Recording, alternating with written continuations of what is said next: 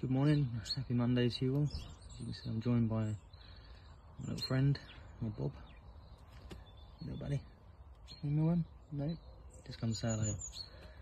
Saw him bobbing around on the ground and um, opened the window and called him. He come flying straight over. Great way to start the week. Oh.